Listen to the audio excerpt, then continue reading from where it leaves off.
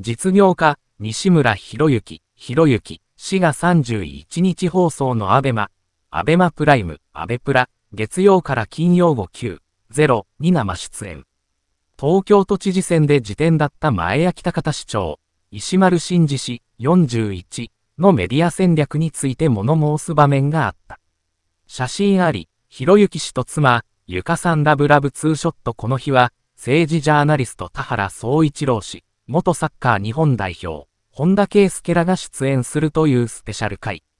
政治と議論をテーマに熱弁を交わした。その中で、ひろゆき氏は石丸氏について、頭のいい人だと思っていたんですけど、と言い、メディア戦略について語り始める。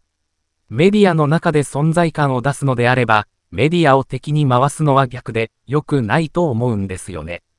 なぜかっていうと呼びづらくなるから。小池さんが票を取ったのって、テレビに出続けてるからじゃないですか。